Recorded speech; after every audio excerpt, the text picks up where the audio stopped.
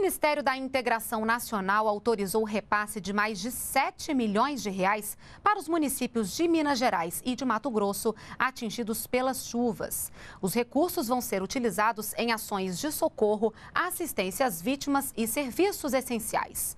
No Mato Grosso recebem recursos os municípios de Serra Nova Dourada e Nova Bandeirantes. Em Minas, os municípios apoiados são Nova Belém, Jampruca e Santo Antônio do Rio Abaixo.